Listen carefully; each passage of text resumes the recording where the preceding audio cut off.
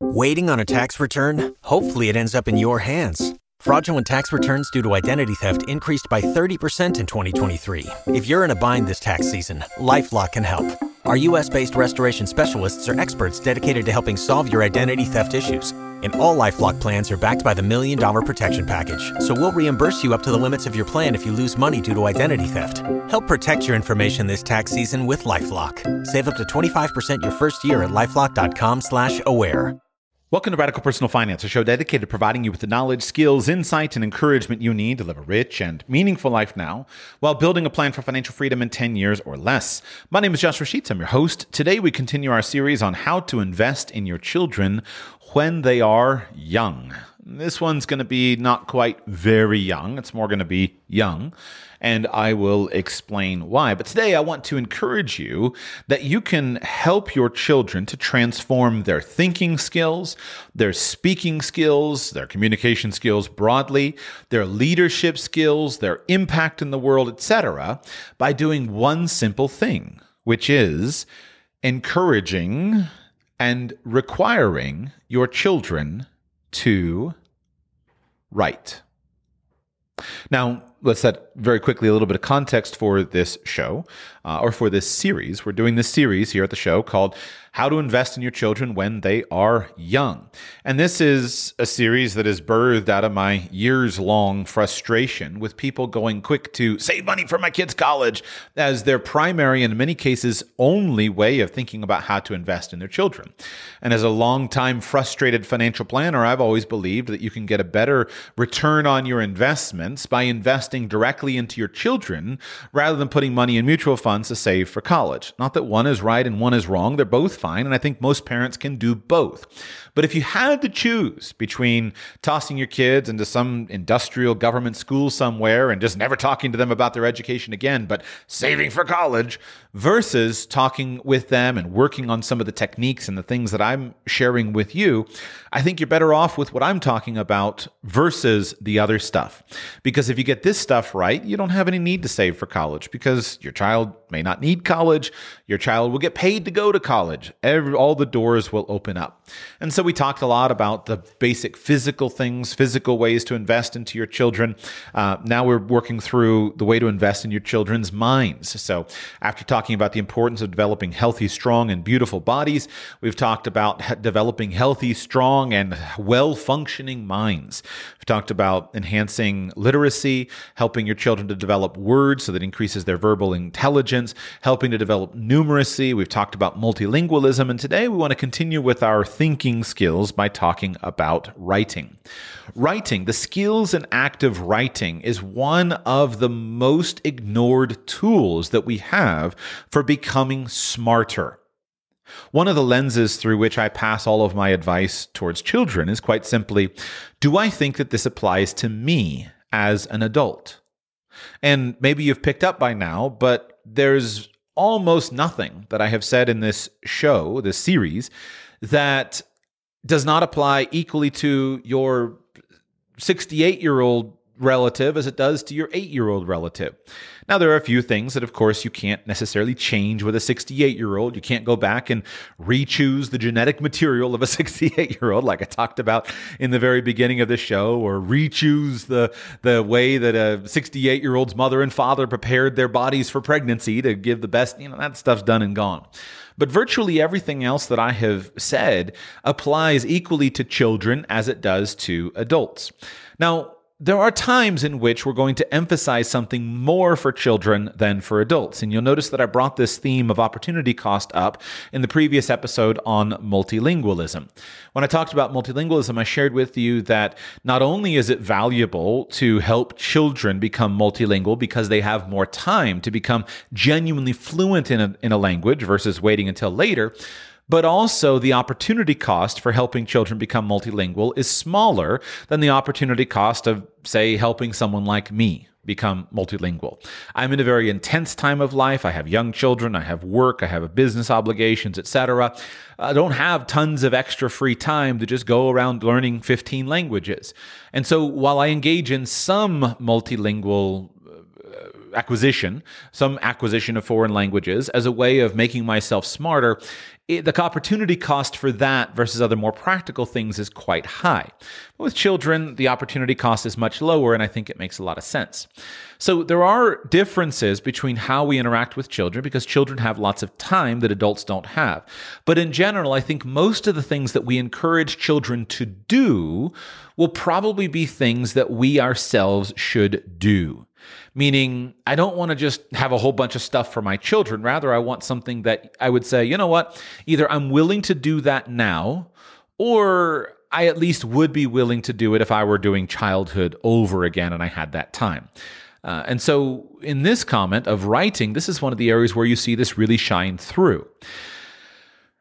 We want to help our children to be effective writers, not from a career perspective, primarily, although I think there are compelling reasons to help our children to become good writers because it is a skill that can be useful in their career. It can be a very highly paid skill.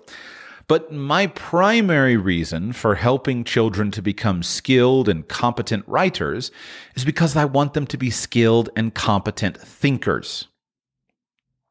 And you'll notice that as we talk about investing in our children's minds, that's a central theme of everything that I've talked about. We want our children to think well. We need strong bodies and we need strong minds. So, how do we build strong minds? Well, so far we've talked a lot about becoming smarter and intentionally growing the gray matter in our children's heads, intentionally becoming well informed about the world. But how do we make sure that our children actually think accurate and useful thoughts? Well, they need to think. They need to dedicate themselves to thinking. Step one of thinking well involves being informed about the world and being informed about the experiences of others. But we've covered that amply in our conversations about reading and literacy, etc. But how do we then take thoughts that we have about the things that we've observed in the world, read about in the world, etc., and then transform them into something that is useful? The number one tool we have is writing. Why is writing so powerful? Well, writing allows you to take these immaterial, somewhat elusive things we call thoughts and put them onto paper in a way that they can be made concrete and examined carefully.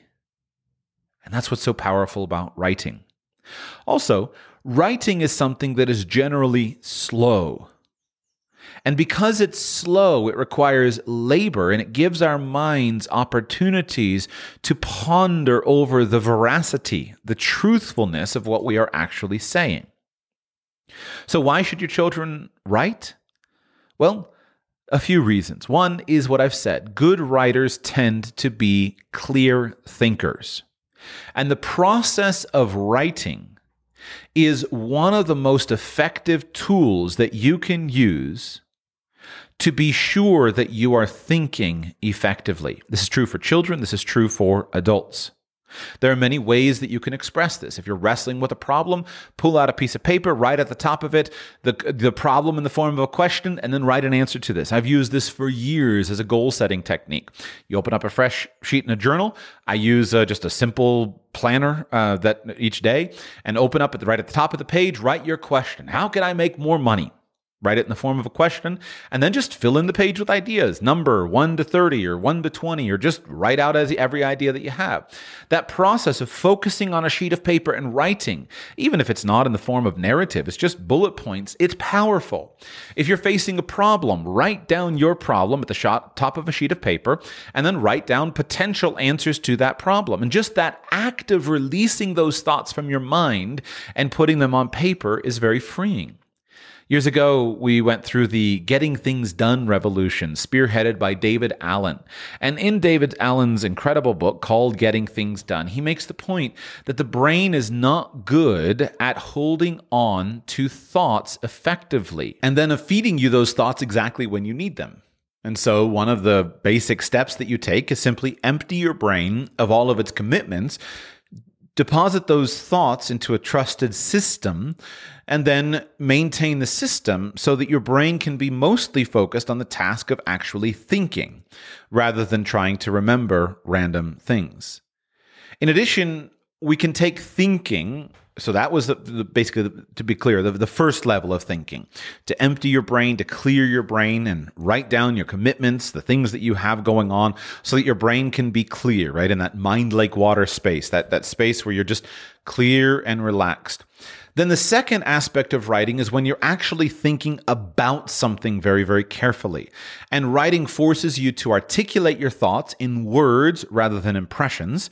Your brain functions in terms of words and pictures, but sometimes those words and pictures can get all confused. But when you force yourself to articulate clearly in words on paper, you can then study an opinion that you have, or a philosophy that you have, or uh, a model that you've created, and ask yourself, is this really true? Do I really believe this? So some of the best thinkers in the world become that way by writing. And many non-writers misunderstand this. They think that people write because well because they think well.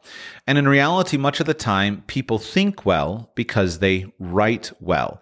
The actual act of writing is a powerful form of thinking. It's a powerful tool of thinking. Your children should write because writing makes them better learners. Years ago, I heard um, Gary North make a quip uh, in one of his essays. And by the way, North was an incredibly productive writer, now deceased, of course. Uh, but there was a time for many years where he wrote four long form essays a day plus work uh, which he published on his website, plus uh, chapters in his books, plus courses and things that he taught. He was an incredibly prolific writer. And he wrote about writing, and he said, One of the things that I've learned about writing is that writing makes me a better listener. He said, I'll go to a, a party and I'll be talking to someone and always thinking about is there a story here? What's the story? And so, if you know you're going to have to write about something, it causes you to listen more carefully. And then, when you write about something, especially when you're not copying, you're just simply uh, articulating what you know about something, you have to genuinely understand it. If you're going to write effectively about another person's point of view, you need to understand it. Uh, a good practice is to steel man your opponent's arguments. And if you have to sit down and write out the thought process, the chain of logic that leads your opponent to believe the way he does, to have the opinions that he does, then at least you know you're going to genuinely understand it if you can write it off the top of your head. And if you can't just sit down and write it out carefully on top of your head and then look back at it and be confident with what you've written, you know you don't quite understand it well enough.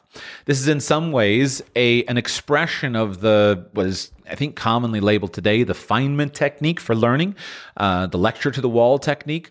Basically, it involves learn something, take a chapter of a book, a subject that you're studying, etc., learn something, then close the book, stand up, and, and deliver a lecture on it. And writing is a form of that. Can you articulate it? Uh, and this process of recalling what you know and then articulating it makes what you know actually go deeper into your learning. You can't do this with everything because we don't need to learn everything very well. But if there is something that you need to learn very well, probably the best thing you can do about it is write a book on it. And I'm partly being facetious, but only partly.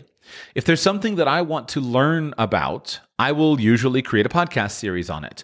I'll create uh, written content on it, write a book on it. And that process of saying, hey, I don't know anything about such and such, but I'm going to go write a book on it, it forces you to organize your research in a compelling way, to learn about it, and then to articulate your unique thoughts. So writers are better learners.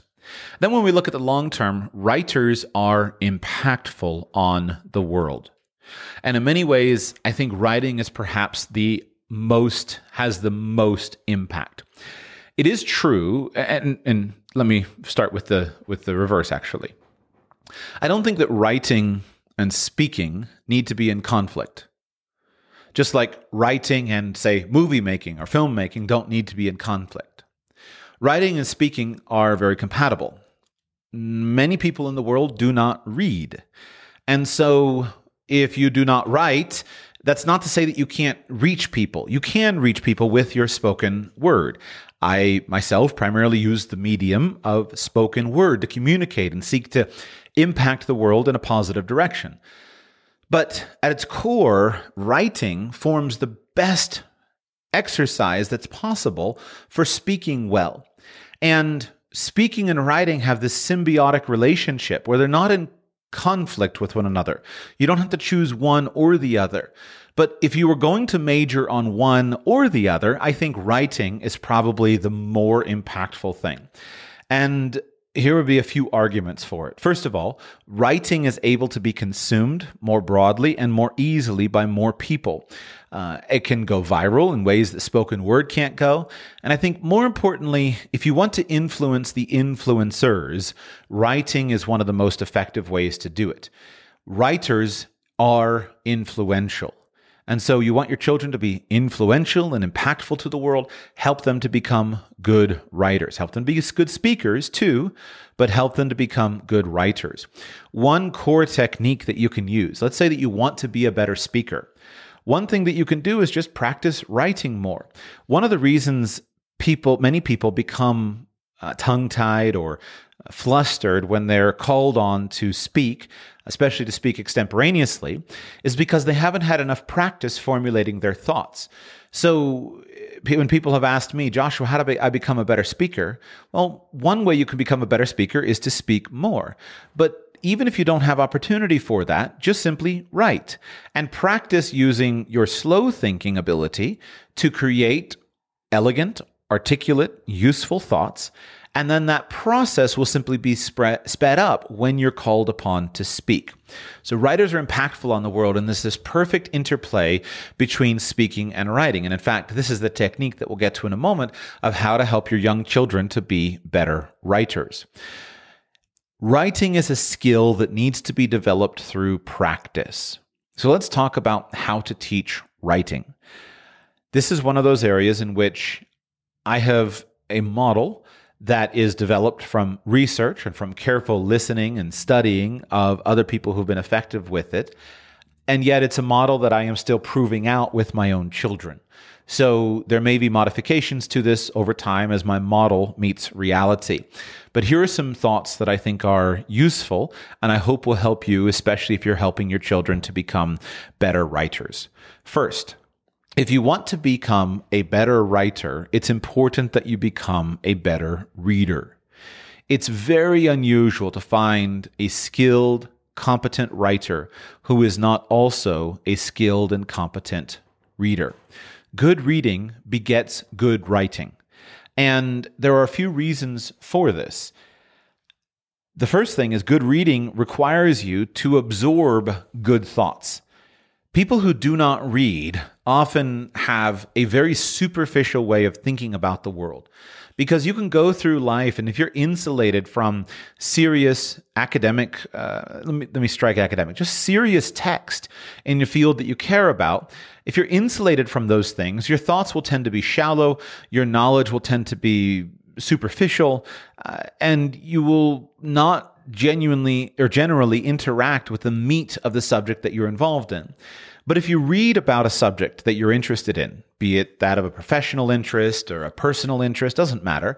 If you read about that subject, you will develop a skill of thinking serious thoughts on the subject. And that's the, the basic material that you need for good writing. In addition, you'll need to absorb style written style from various authors so that you can develop your own personal style.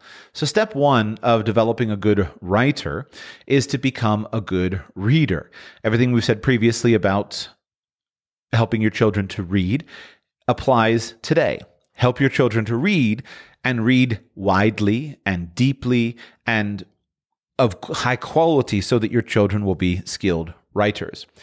Next, I think the basic technique that you can use with children is to encourage the skill of what is called narration. Now, this is a term that is common to some of us in the homeschool world. Uh, it's it's a core part of an educational philosophy that I admire greatly, called the Charlotte Mason philosophy. But narration is something that you can do regardless of how you school your children, and it is forms the foundation of ultimately good writing. Narration, in its simplest form, simply means telling about something. It's telling. Notice here we're using the spoken word, not paper and pencil. And yet, the practice of narration forms the core of skill development. I want to read to you a little bit about this because this is the core technique that I want you to use with your children, regardless of where they are, to help them become better writers. Well, let's talk a little bit. I'm going to read to you a little bit from an excellent book called Know and Tell The Art of Narration by Karen Glass. And here she talks in the beginning of the book about what narration is. Narration is telling. From the beginning of human history, as far back into the past as it is possible for us to glimpse, people have been talking to each other. History has left us remnants of communication in pictures, cave drawings, sculpture, hieroglyphs, runes scratched on stones, and fragments of faded parchment. We cherish these messages from the past because we want to hear and understand the people who were like us, although they lived so long ago. However, their communication was not intended for us. They did not imagine us. Most of their interaction took place among themselves by way of spoken words, as they talked to each other within their own communities. The words they uttered were the words that meant most to them, the words that touched their hearts, quickened their understanding and interest, and shaped their lives. They told each other the things that were important to them day by day, and they passed down treasured stories from generation to generation by way of oral tradition. We are doing much the same thing today. The purpose of this book is to acquaint you with the art of narration, the art of telling. It is an innately human activity, and because it is a natural part of human interaction, it is a particularly effective educational tool. I hope to give you some insight into how narration can be used as an educational method with students of all ages. I also hope to show the development of the process from simple oral narration to polished writing. What is narration? Why is it an art? In its simplest form, narration is simply telling. You attend a meeting and summarize it later for your boss, making sure that she hears all the main points that were discussed. Your grade school child returns from camp and entertains you with a detailed account of his group getting lost in the woods and all the adventures they had before they found their way back. Your teenager monopolizes the breakfast table conversation with a thorough recounting of the movie she saw the night before, including all the spoilers and the no longer a surprise conclusion. These are all narrations, tellings. These instances and dozens like them make up the fabric of our lives and our interaction with others. We sometimes tell because we need to convey information, but that is not the most important reason. We tell because we want to relive an event or allow others to experience something with us. Your boss wants to know what was said at the meeting.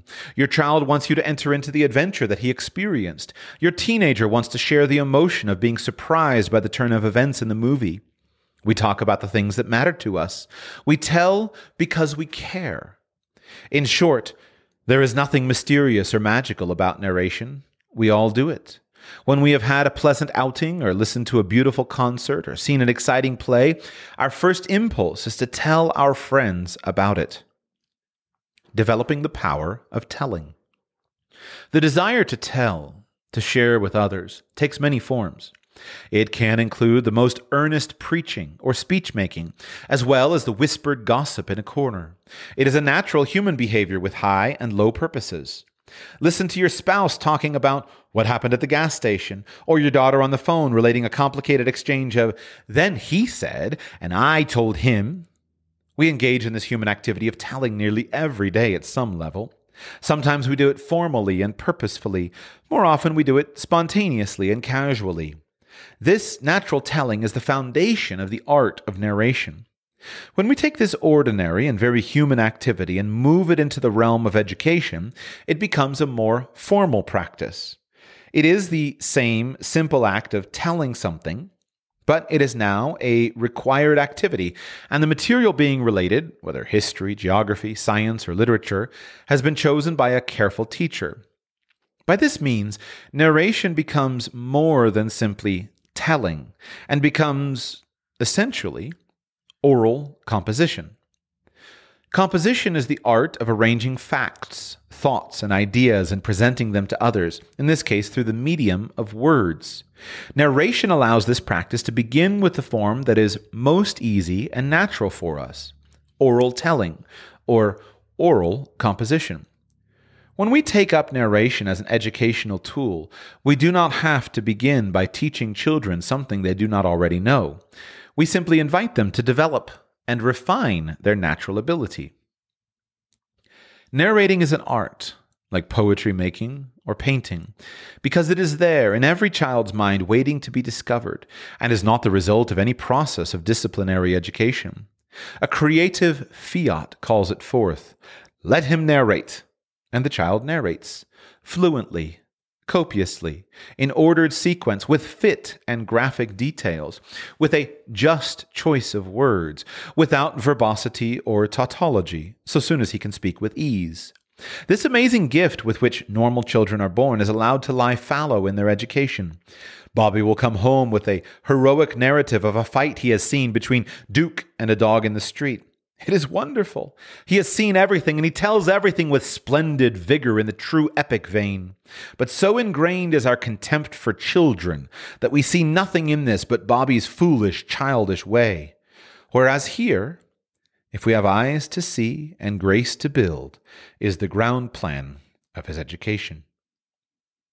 To make an art of narration, we begin with children's natural interest and ability to tell about something. We accustom them to tell accurately, consecutively, and fully. In due time, we encourage them to write their narrations. They begin by learning to write the same thing they would have said in an oral narration.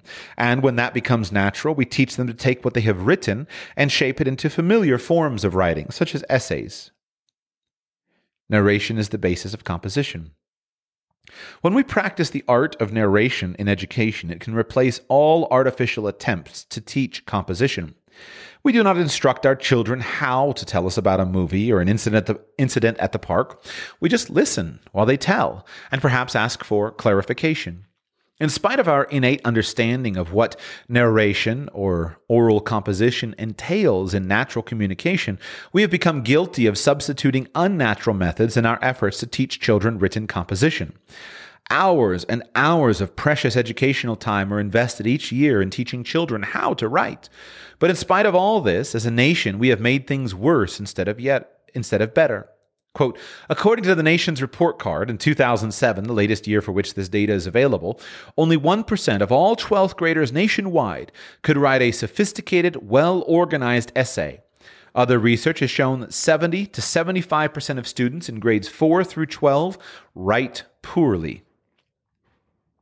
When we consider the eloquence and thoroughness with which we are able to narrate what happened at the ballpark last week, the plot of the latest novel we read, or how we managed to defeat the termites in the basement, we will recognize the power we possess to tell. Just as nearly everyone can run and jump at some level, nearly everyone has the natural ability to narrate. We can refine this natural ability with use and practice.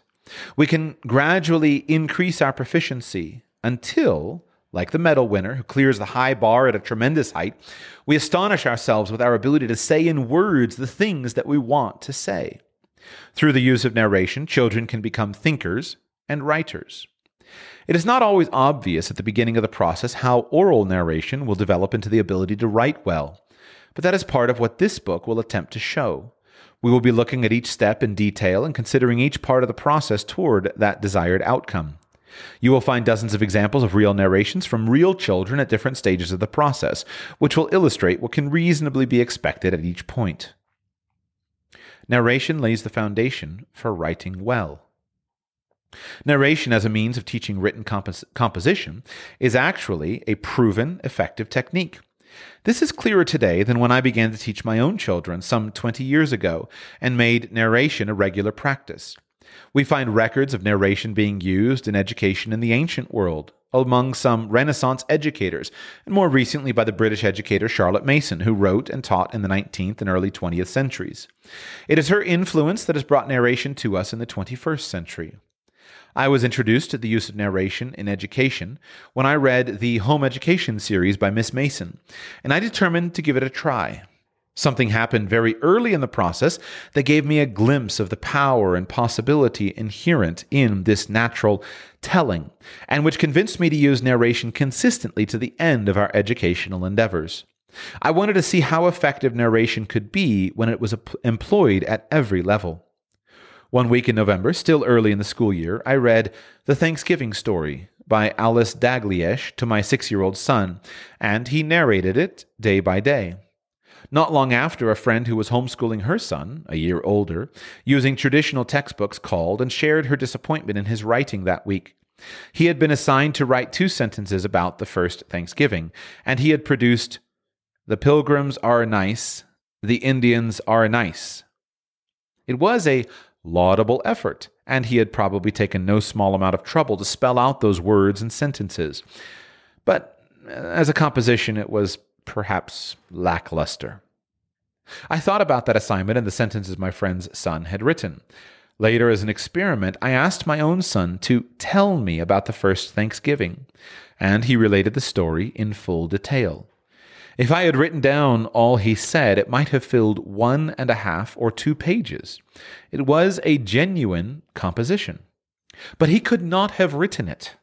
In fact, he could not have written the two simple sentences my friend's son had written.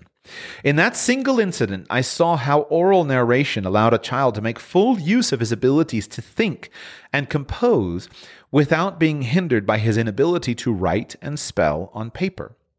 If the difference was so starkly clear this early in the educational journey, how far might it take us if we followed it faithfully to its conclusion?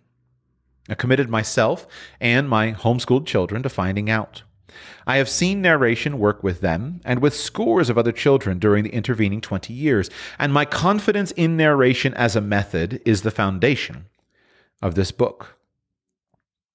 Narration is a training exercise in thinking well. If you're in business, you probably have a website, but can your site handle your growth? How many visitors before your site slows down or crashes? What about storage and data security? From web hosting to virtual servers, Pair Networks provides the online infrastructure you need to start, grow, and flourish. When it comes to security and updates, don't worry, we've got you covered. Our 24 7 US based customer support is the best in the industry. No frustrating chatbots or sitting on hold for hours. Check out pair.com today to learn more. That's P A I R.com. Learning to write is important. Yet, teaching composition is not the only educational objective met by narration. Our natural use of narration in our everyday lives serves many purposes and meets many needs. Likewise, narration in education has a multitude of benefits. When you relate an event to someone else, it is because you want that person to share in the experience. If you were frustrated by a cashier at the store, you want to relate what happened so that others can feel your frustration and commiserate. When your daughter tells her best friend about a conversation with her boyfriend, she is untangling the threads and trying to make sense of one attempt at communication by means of another. When we tell someone the plot of a movie or a novel, we are reliving the story in our own minds and inviting others to join us in appreciation. Even in our lowest forms of narration, such as gossip, we are seeking shared understanding, albeit at the expense of another. At its heart, narration is a relationship building exercise. When we lift narration out of its everyday context and use it as an educational method, we are giving each pupil narrator the opportunity to create, build, or strengthen his relationship with knowledge. The relationship develops on several levels. The child forms his own relationship with the material he is narrating. And as his relationships become broader and deeper, he begins to perceive the relationships that exist within knowledge itself. The first steps toward personal acquaintance with knowledge become the first steps toward higher level thinking skills. Quote, there is little practical utility in an exercise which does not call forth any of the higher powers of the mind, and it is but a barren result to be able to repeat dates, facts, and names with no sense of their important relations. Knowledge has been said to consist largely in relationing. By this is meant that to know an event is to know it in all its bearings, in its relation to other events in time, place, and circumstance, to know the causes and effects and the sequences of which it forms a part, and to be able to put it in its true place in the complex series of which it may be only a small item. When a child is asked to tell what he knows, his attention to the matter at hand is increased. He reads, listens, or watches more closely so that he will be able to tell. A child who narrates the life of George Washington, episode by episode, builds an affinity for the great man. He forms a relationship with him and feels that he knows him. When Washington is encountered in a general history book, or makes an appearance in fiction, or is spotted on a $1 bill, he will be met as an old friend, not simply a name. Each encounter adds another layer to the relationship already begun. A child who must narrate a chapter about geology, telling how volcanoes are formed and how rivers dig deep channels, has his mind open to the scenery about him. When he sees a creek bed running below steep banks, he will remember what running water does to the landscape and look around for the telltale signs of its work. When any of us have to think about something thoroughly enough to be able to relate it to someone else, we are making that bit of knowledge a part of ourselves and our experience. The ability to tell or narrate is directly linked to knowledge. Narration and knowledge shape our relationships in many areas of our lives. Ms. Glass continues and talks about narration building relationships, but I want to skip forward to narration is an art. Everyday telling can be refined into the creative art of narration. It is creative because each child's mind, working on the material at hand, reproduces a version that is unique to that individual. Quote, what a child can do is to assimilate and give knowledge forth in a form which is original because it is modified, recreated by the action of his own mind. And this originality is produced by the common bread and milk which is food for everyone, acting upon the mind which is peculiar to each individual child. An art is not an artistic pursuit. The historical seven liberal arts grammar, logic, rhetoric, arithmetic, geometry, music, and astronomy were called arts and not sciences for a reason. In the ancient world, a science represented a body of knowledge to be acquired. An art is not a body of knowledge, it is something to be practiced. An art is something that you do. This is why, even in contemporary usage, we speak of practicing law or practicing medicine. It is necessary to acquire some knowledge in order to be a lawyer or a doctor, of course, but when knowing is expressed by doing, it becomes an art. Narration becomes an art when we lift it beyond its everyday uses and make it a purposeful pursuit. Many things that we do naturally can be polished and refined to a high degree of skill. Everyone can sing, but some train their voices to produce the highest quality of sublime music. Little children can jump and run, but athletes refine those abilities into record breaking feats of strength and speed. We can all push the letters on a keyboard, but accomplished typists bang out 90 words per minute with virtually no errors. Like many arts, narration appears deceptively simple at first glance. A child hears or reads a passage from history, science, literature, biography, travel, or another literary work, and then retells what he has read or heard in his own words. That's all it looks like most of the time, the same kind of retelling that we do every day, except that the subject matter is purposefully chosen by the teacher, and the narration is a required activity rather than a spontaneous one. Have you ever seen the classic 1984 film The Karate Kid? In that film, the wise old sensei assigns his protege the task of waxing his car using very particular motions. The boy waxes the car according to the method until the movements become second nature. And then the teacher reveals that those motions, which have been perfected by practice, have other applications. In fact, they give the young man access to a power beyond what he realized he had. Narration is like that. It is a natural activity that we engage in all the time. But if we refine it and lift it beyond its mundane uses to a higher one, practicing and perfecting it, we will gain access to a power, a skill that will take us further than we might have imagined.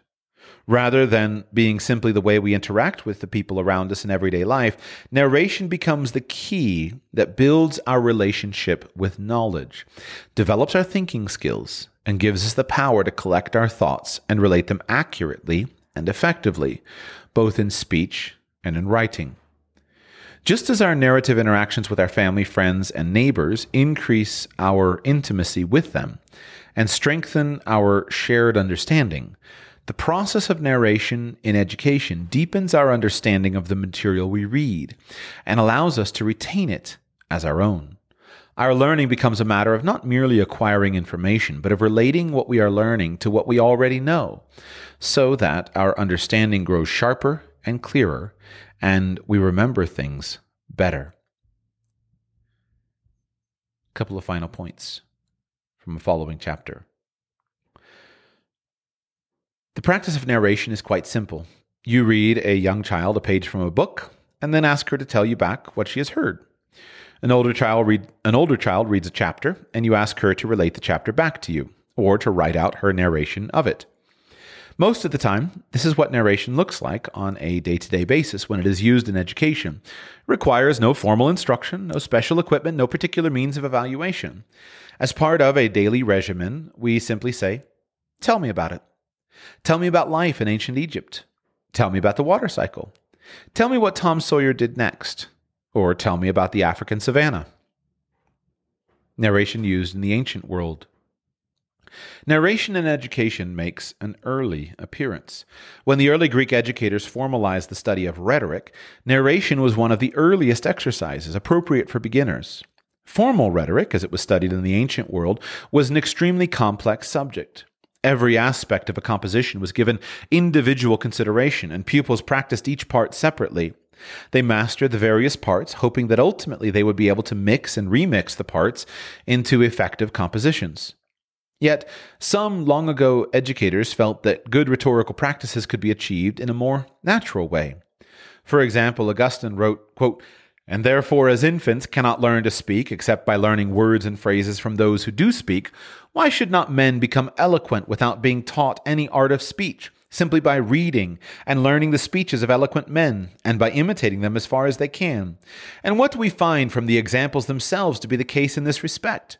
We know numbers who, without acquaintance with rhetorical rules, are more eloquent than many who have learnt these.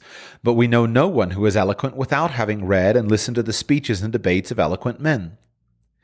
This is very like what I propose narration will do. Augustine believed rhetoric could be developed organically with use and practice.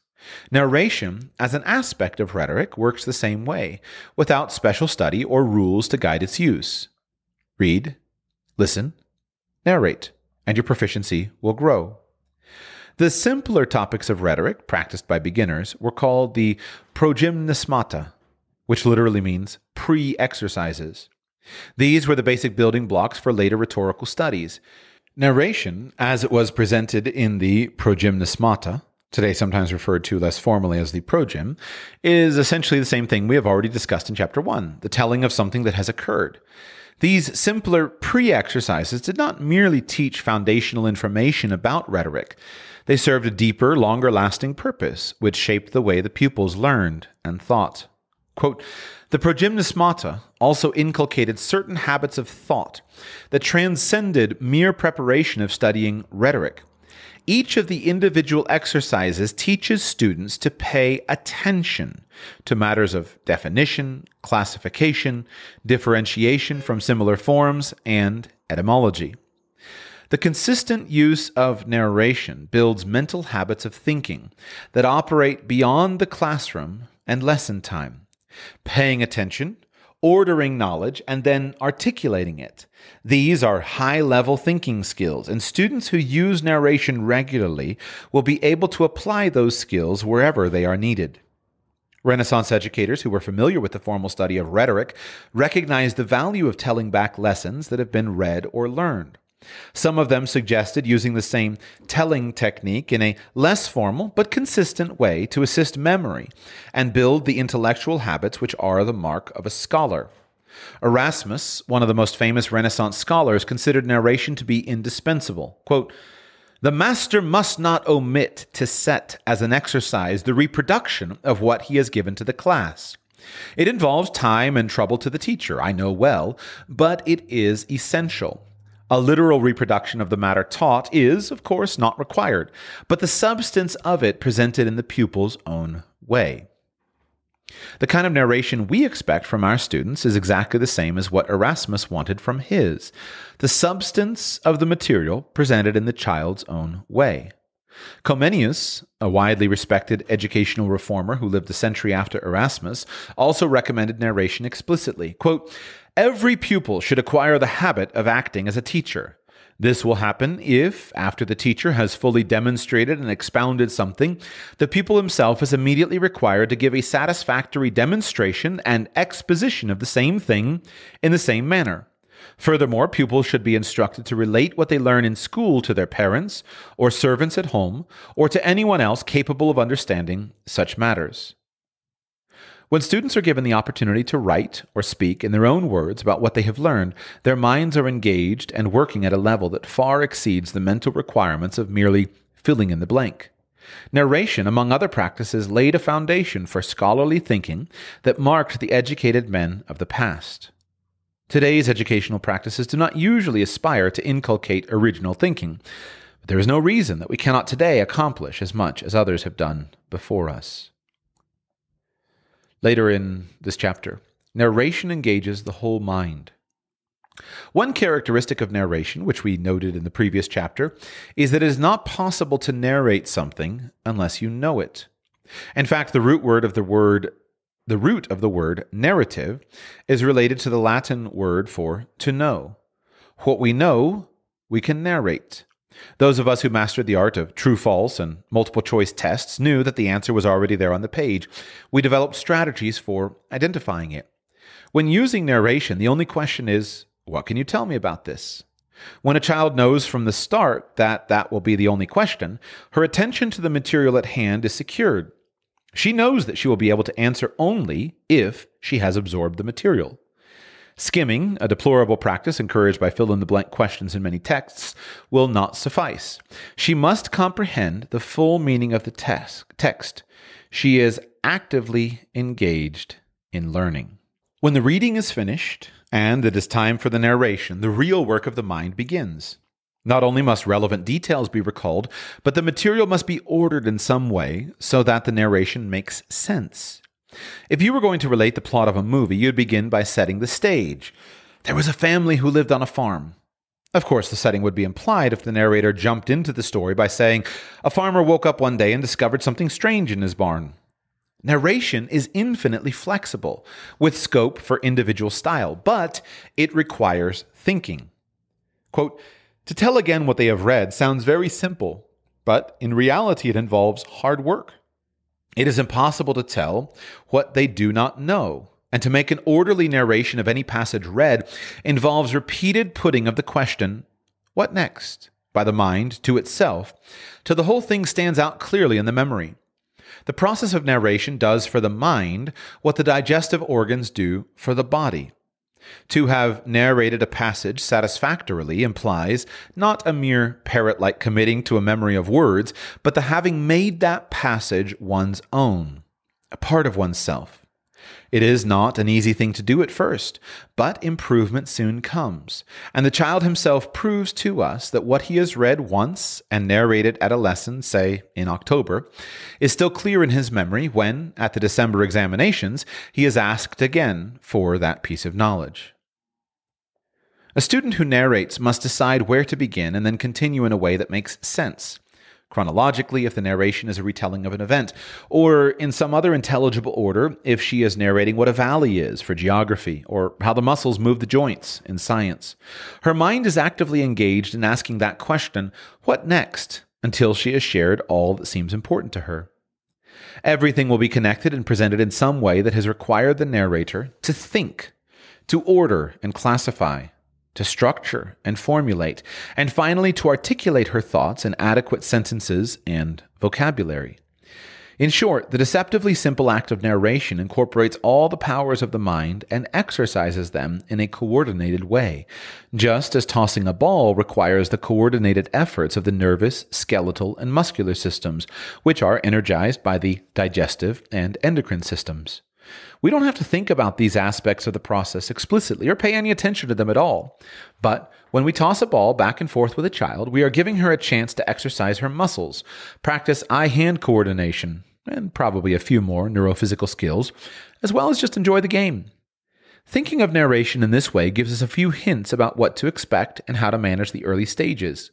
Small children will drop or miss a ball more often than they will catch it at first, but we encourage them to keep trying and applaud each success. Their attempts at throwing are wild and unpredictable, but we offer what advice we can and demonstrate good technique until they begin to do better. With regular practice, the body builds the habit of throwing accurately and forcefully. Likewise, with regular narration, the mind builds the habit of attending, apprehending, ordering, and understanding. Current scientific research is validating this natural process in education. Recent studies have confirmed the link between speaking and remembering. A series of experiments demonstrated that vocalizing material fixed that material in the memory and increased the ability to recall it. The effect is enhanced further when the material is not just spoken aloud, but also addressed to an active listener. Quote, Previous studies conducted at Professor Victor Boucher's Phonetic, Science Lab, Phonetic Sciences Laboratory have shown that when we articulate a sound, we create a sensory and motor reference in our brain by moving our mouth and feeling our vocal cords vibrate. Quote, the production of one or more sensory aspects allows for more efficient recall of the verbal element. But the added effect of talking to someone shows that in addition to the sensory motor aspects related to verbal expression, the brain refers to the multisensory information associated with the communication episode. Boucher explained, the result is that the information is better retained in memory. Children who narrate their lessons are being given the opportunity to do exactly what was done in these experiments speak aloud to another person. The complex connections between the body and the brain or mind do their integrated work naturally. As the mind works on the material it has read or heard, and the child tells it back, the knowledge is being digested, becoming a part of the child's own experience and self. This can be tested by simply asking a child to tell something that she has previously narrated. One of the most common and effective practices when using narration for school is to begin each new lesson with a request to tell what happened in the last one. This reinforces the connection between the connections between what will be new and what a child has already learned. Quote, by the time children reach the top of the school, narration has become an ingrained habit, has led to observation and thought, to an ability to relate what was learnt last term, last week, yesterday, with this that we are now considering. Such coordination grows from remembered past narrations over a wide field. Some note in today's reading awakes an echo in some other subject or lesson, and so the power to compare and contrast and illustrate by example is developed. This should lead to a valuable use of analogy and application of past history to modern times and modern problems. Regular narration also increases vocabulary and the use of more complex sentences. This is the natural acquisition of rhetorical squ- skills that Augustine observed. Much depends on the quality of the material being read and narrated, of course, but the, partic- but the peculiar attention that is created by requiring narration means that a child often incorporates an author's vocabulary, a word or a turn of phrase, into her narr- narration, thus making it her own. As she sorts out the complex sentences of a more difficult piece of prose in order to narrate what she has heard, she gains an intuitive understanding of how sentences are put together that no amount of external grammar instruction can hope to impose. The benefits of these growing skills cannot be measured right away. A grammar or vocabulary test of the usual kind might not expose all that the child has absorbed. In time, however, the child will show in both speech and writing that the effort has not been wasted. Just as regular sessions of catch with dad can develop a child into an athlete, the regular use of narration will develop thinkers and writers. Consistent practice builds the habit of using certain muscles, whether physical or mental, effectively, and the results are long lasting. Mastery cannot be hurried or forced, but patience and persistence will yield their fruit. Narration develops synthetic thinking. Because narration strengthens memory, it allows children to gather a growing store of knowledge and understanding. As they learn, one thing reminds them of another. They form connections between old and new knowledge.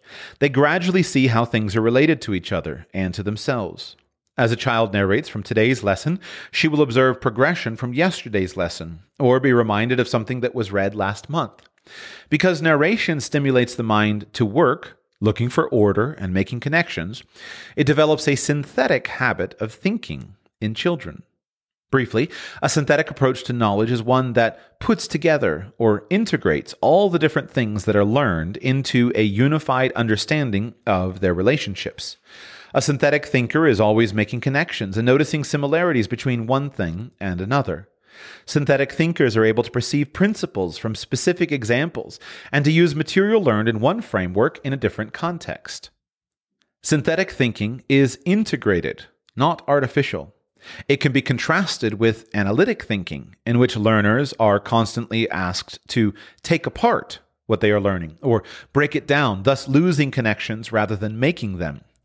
Analysis is a useful tool, but it is most effective when it is postponed until after an integrated understanding has been established. We think and understand and analyze better when we have first consolidated our knowledge. Analysis is highly valued today, but let us not hurry our pupils to break things down before they have put them together. The usual practice of questioning, in which a child is expected to produce an isolated piece of information, does not encourage synthetic thinking.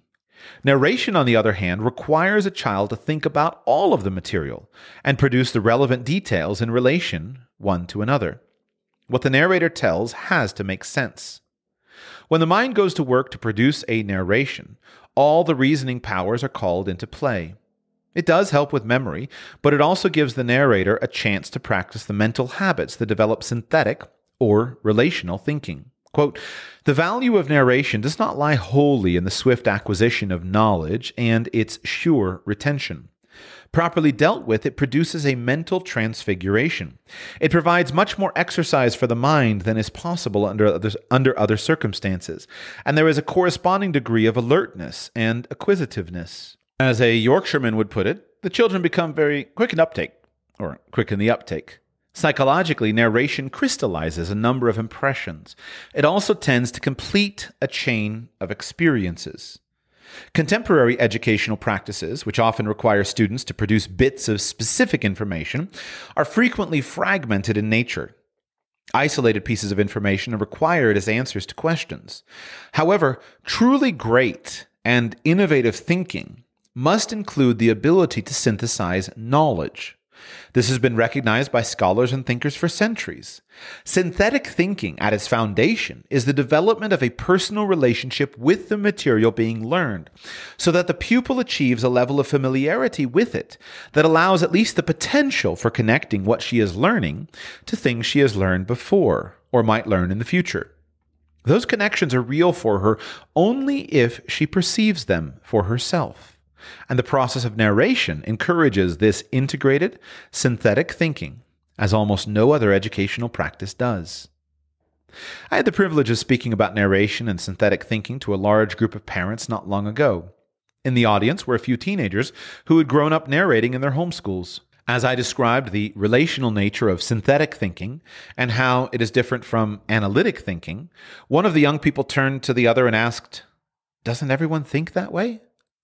Sadly, the answer is no, they do not. Knowledge that is not easily measured and tested is often ignored in modern schools. An innate relational understanding of the connections between different areas of knowledge is part of the power that educational narration unlocks. We begin with a simple request to tell what you know. However, years of building that intellectual habit lay the foundation for the kind of thinking that will eventually allow a teacher to give assignments such as compare the leadership of George Washington with that of Napoleon Bonaparte, or explain how the closing of one business can affect the economy of a whole town. These types of assignments are not a matter of simply regurgitating facts. They require deeper understanding and thinking, and they will be well done only if that thinking is based upon knowledge and understanding of the principles at work in leadership or economics. The kind of thinking that connects general principles to concrete instances cannot be taught in a mechanical manner. There are no workbooks, no writing curricula, no textbooks that will produce thinkers who can tackle those questions and others like them. Just as strong muscles develop only when the body is well fed and exercised, the mind develops strong thinking when it is well fed and regularly exercised. Excellent books are the preferred nourishment, and narration is the best exercise. Synthetic thinking cannot be taught with didactic methods. How does one come to understand the principles of leadership? An analytical approach might try to distill some of the aspects of leadership into a few sentences, and those sentences might be committed to memory. But this is not how principles are apprehended. We must meet leaders within the pages of a book, if not in real life, to know what leadership is. A child who has read the biography of a leader absorbs those principles so that they become a part of herself. Now she knows, in her small way, how a leader thinks and acts. She will remember, for example, that Robert the Bruce watched a spider build and rebuild its web and took courage from that example to persevere in his mission. When faced with the prospect of quitting, the child's heart will take courage from the remembrance, and when she tells herself or another, don't give up, it will carry the conviction and weight of example and experience not her own. This is relational, synthetic thinking. Merely memorizing definitions of courage or leadership produces no such personal reaction. When children are given years of opportunities to narrate, they make connections and develop deep understanding that most educational methods cannot give them. Narration deserves a fair trial. For the last century and more, educational methods have largely failed to establish this kind of synthetic thinking in children. Most of us have reached adulthood without being given the opportunity to develop these thinking skills, and our writing and speaking is correspondingly weak. Too often we attempt to address the symptom of poor writing rather than the disease of weak thinking. Narration gives us an opportunity to reclaim those higher level thinking skills for the next generation and even to develop them for ourselves. That process can begin right now. If you are reading this chapter, then you have probably read through chapter one, The Art of Narration. Close the book and narrate that chapter either to someone near or silently to yourself. Don't worry if you can't do it or find it difficult. Just do the best you can, and you will probably discover that narration is deceptively simple sounding. In practice, it is actually quite difficult at first and requires a great deal of mental effort. But that effort grows easier with time and habit, just as it becomes easier to throw a ball accurately with regular practice.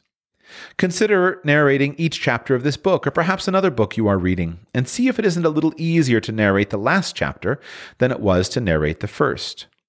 If narrating a whole chapter is too much at first, try narrating one section at a time. I know of no better way to open the eyes of an adult teacher to the power of narration than for that teacher to attempt the practice personally. If we get a glimpse of the power that narration unlocks, it makes it easier to commit to using the practice. Narration requires perseverance because it takes time to develop the skills in the first place, and still more time for those skills to blossom into mature thinking and writing. However, that time is well spent because narration will give children mental habits that will pay dividends in every aspect of education. Children who are taken for long walks every day develop stamina and endurance for hiking. Children who are taken to the pool regularly become swimmers. Children who spend every week playing baseball learn the skills of playing ball. And children who narrate consistently become thinkers and writers. Regular, consistent practice is all that is necessary. No special training is needed, and no tricks or shortcuts will take its place. If that was inspiring to you, I was reading sections from chapter one and chapter two of a book by author Karen Glass called Know and Tell The Art of Narration. So, in summary, while I have titled this episode Teach Your Children to Write, I'm seeking to give you the tools to help your children to write. And the basic tool that I think every adult can use with children, especially young children, is the tool of narration. Ask your child to simply tell you about something that he has read, something that he has seen, something that he has done. Do that consistently, day in, day out, and in the fullness of time, it will bear fruit.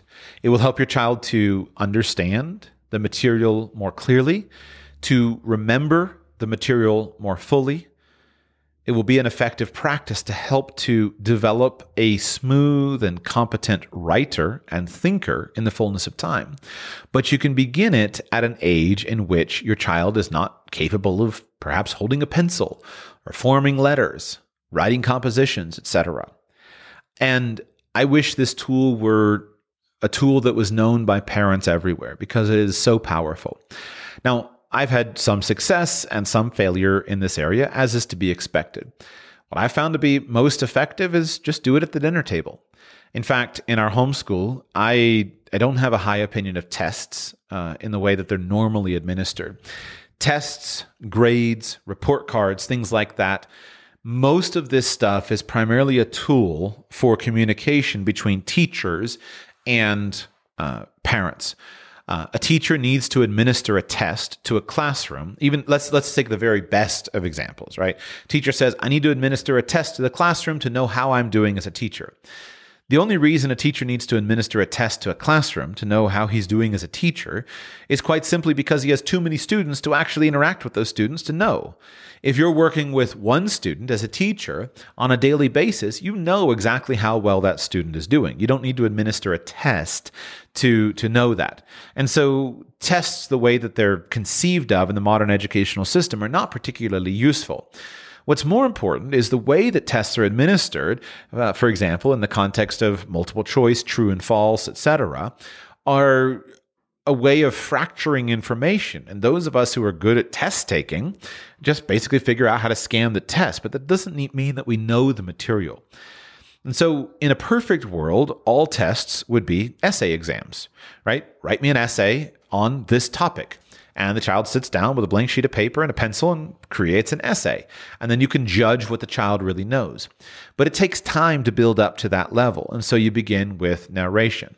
Now, your child's teacher, if your child is enrolled in an industrial school, your child's teacher is not going to have the time to do this. It's not a basic pedagogical tool that is in, in common use today. But you, as a parent, can do this. Even if your child is enrolled in an industrial school, you can still use this yourself. Simply ask your child to tell you about what he's reading about. Give him good books, have him read those books, Tell me about it. And over time, your child will develop these skills. I find the dinner table works really well. Uh, sometimes with our young children, our dinner table conversations become, I don't know what to ask them about. Uh, we're together all the time. And so it's not like that's the only time we see each other. And I just, what do I ask you about? I want to fill the converse, the table with conversation, but sometimes it's difficult with young children. And so recently I've learned that talking about uh, what narration and requiring my children to narrate their books has been a very effective tool. It's a good time. We can do it, and they like having an audience. In fact, it has increased the quality of the narrations uh, consistently. This is the primary tool that we use in our in our homeschool. I give my children books, have them read the books, and have them narrate the books. And then you can you can use a an exam period at the end of a term, and the exam questions are basically tell me what you know about the War of 1812 and have the child tell you. And it's important to note that even this process of testing helps to hone the memory. So start with narration because the skills of speaking will turn out in the fullness of time to enhance the skills of writing. In the same way that I gave the example earlier with somebody who's not a skilled speaker, the tools of writing help someone to be a skilled speaker. When you're speaking about something that you've written about, it's pretty easy compared to just speaking about something that you haven't taken the time to think through and write about. I'm not going to take an extended period of time to discuss the topic of copy work, other than to suggest it to you. Another classic tool for helping your children to learn to be skilled writers is to expose them to copy work. And this is a tool that is used for children and for adults. Years ago, I took a course on writing sales copy, writing effective sales letters. And the foundation of that course was basically copying good sales letters. And I've spent enough time around professional copywriters who still use that to this day. They sit down and they do copy work. They copy an effective letter multiple times until the very words get soaked into their bones. And they use that to absorb the style. There's certain aspects of style and technique that really can only be absorbed through exposure rather than explicitly taught. And so copy work is a very effective tool. And you can put together good collections of high quality literature and then have your children copy them. And in the process of copying that work, they're exposed to the beauty of the thoughts, the beauty of the language, the vocabulary that's being used, etc. With regard to writing, I think another great uh, practice to implement is to make writing a daily occurrence. Now, to be clear, I don't think that writing necessarily needs to be a daily occurrence for a six year old. I think narration should be the foundation. But for adults, writing should be a daily occurrence. Every day, you're sitting down and writing about something that you care about. And you can choose the context, but it should be similar for children.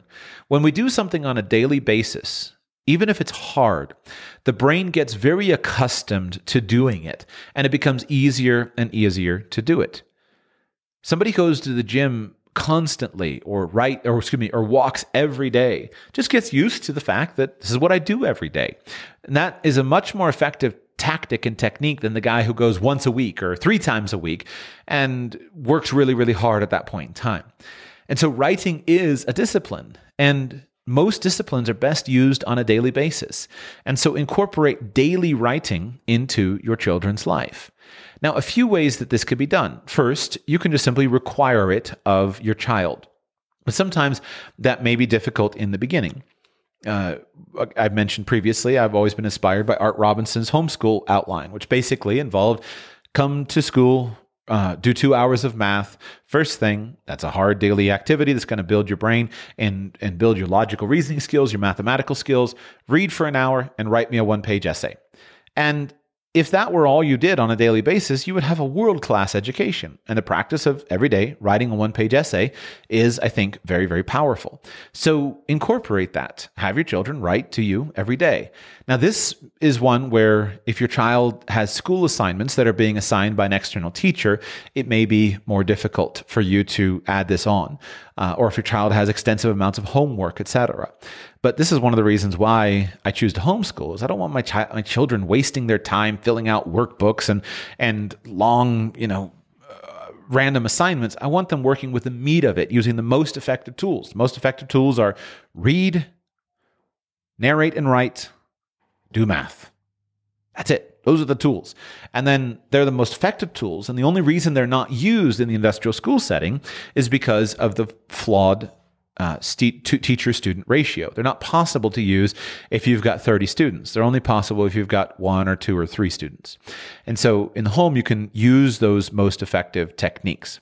So write daily, have your children write daily and use it as a discipline. So then how do you write daily? Well, here I think one of the things we can do with is help our children to is have more context for their writing. When you're writing for meaning, it's much more powerful than writing for writing's sake. Copy work has its place. But if you're writing in a letter to grandma, or if you're writing a persuasive article on something that you care about, or if you're writing a story that you want to finish, then writing your daily pages makes a lot more sense. One of the things I've been so inspired by over the years comes from Jonathan and Renee Harris, who've been on the on the Jonathan's been on the both of them I think have been on the show a couple of times.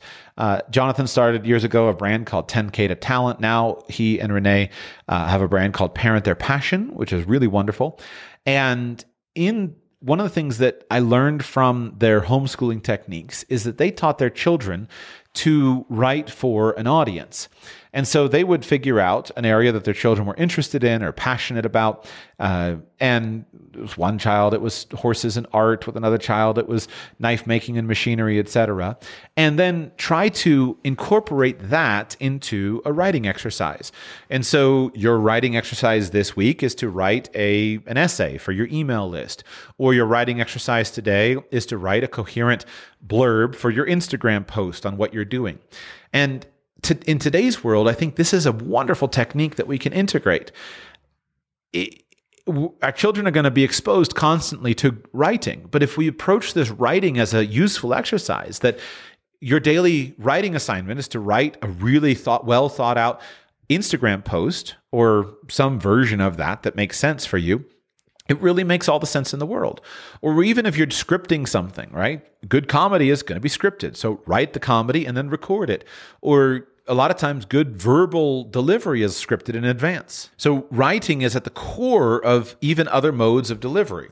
Writing for an actual audience is going to be much more productive and much more motivating than just writing for your teacher who's going to read it, mark a letter grade on it, stick it back. You're going to put it in a notebook that you never again open in your life.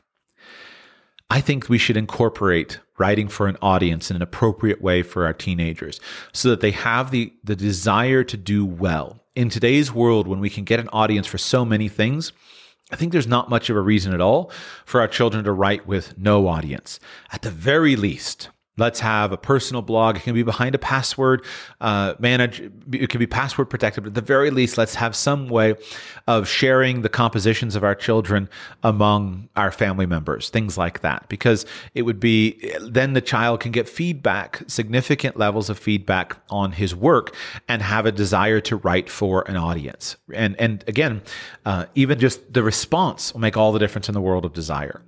Next suggestion is make sure that your child is writing about something that he cares about. There perhaps is an element in which writing as a discipline about something that you don't care about, maybe that's fine. But in general, write from a place of caring. Now, I'm sensitive to this word because I love it.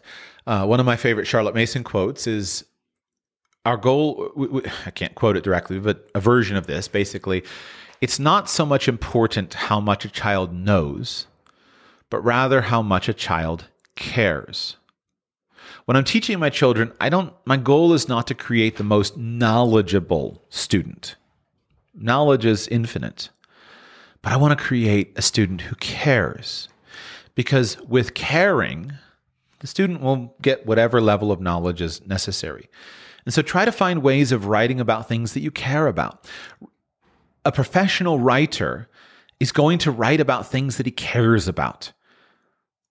Why make it hard on a child by forcing him to write about things that he doesn't care about? Look for things that your children care about and have them write about that. Next, if possible, get rid of stuffy, formal, academic language. One of the great harms that English classes or professors do to children is they teach writing as something that is a matter of correct and incorrect. They say that this is the right way to write. It can be useful to know how to make a three paragraph, three point essay. That can be useful. But at its core, writing is a creative endeavor. And there really are no rules except effectiveness. A skilled writer is going to know and absorb the rules so that he knows when to break them. As a skilled speaker, I know the grammar rules, I know rules of delivery. So then when I break them, I'm conscious of the fact that I'm breaking them by intention for effect. Same thing happens with writing. But when we teach this artificially stuffy and formal academic language, I fear that we hamstring our, our students before they ever need it. First of all, formal academic language is largely worthless. All academics do is write for each other. No one reads their stuff. It doesn't matter. It's not impactful. The most important writing is always going to be on a popular level. Now, in many cases, a skilled academic will have two voices. Skilled academic might have the need to write academic papers, but that academic should also be able to write for the popular level a really great writer is going to write at the popular level, not at the academic level.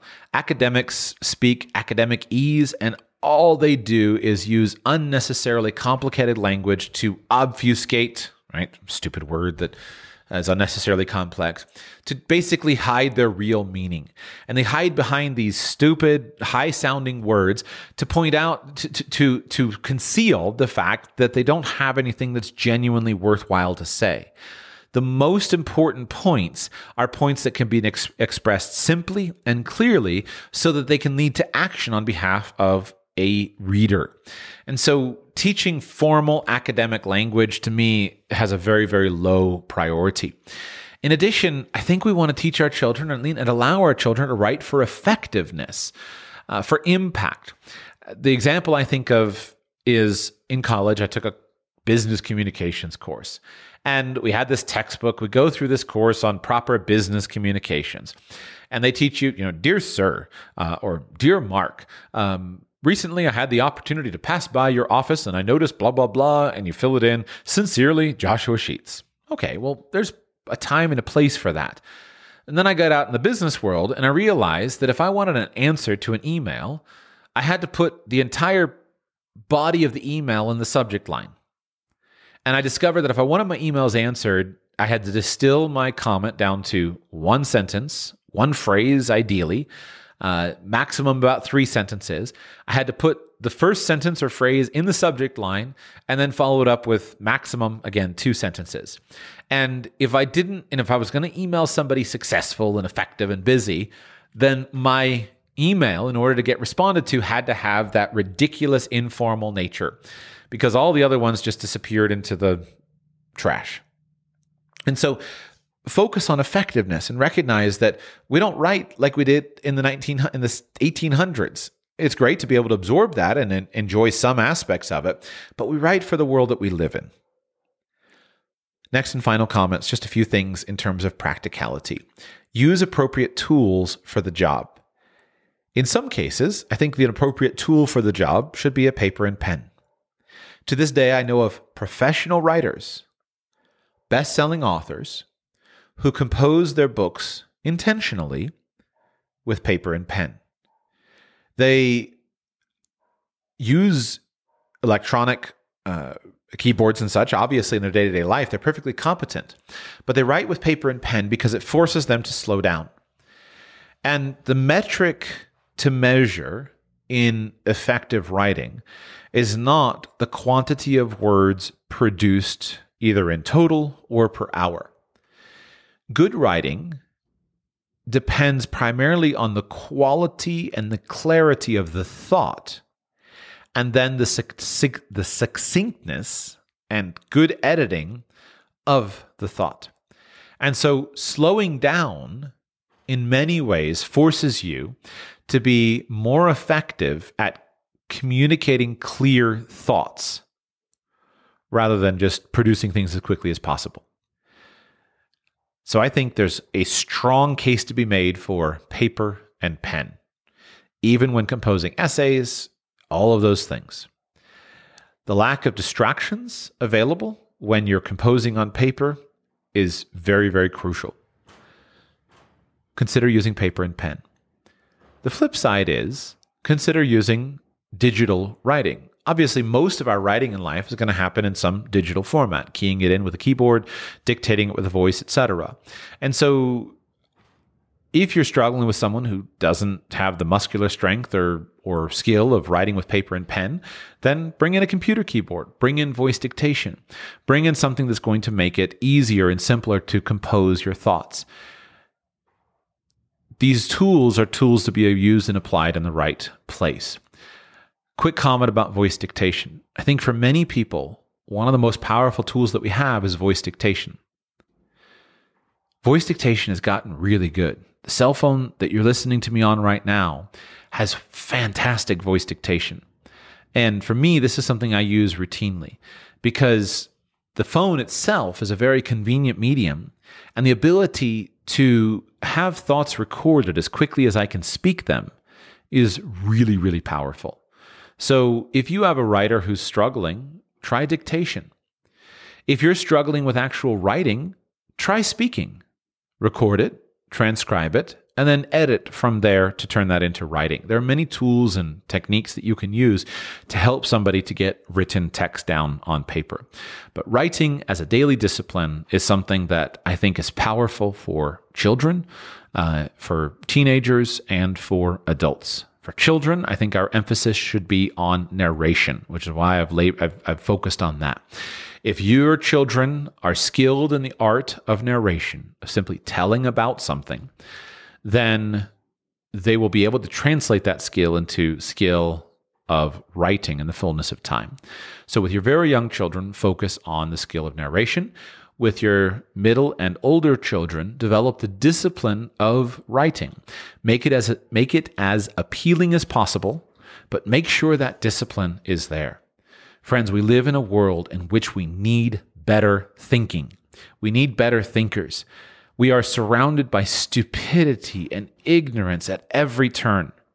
And this is dangerous because when skilled orators are talking to uh, ignorant people, then instead of having to rely on clear logic and compelling thought, they wind up engaging in pure sophistry, right? They they they focus on on moving someone with their emotions rather than with logic. And as human creatures, emotions are valuable, but they're very fickle. And we should harness the power of emotions while not succumbing to the control of emotions. We need to raise up a generation of better thinkers, better communicators. That is our responsibility as parents. We're not going to change the popular culture. But even if we could make a 10% or a 20% shift towards raising better thinkers and better communicators, that will make a big difference in the world that we live in a century from now. So let's put our hands to the plow and be faithful to the task that we have in front of us.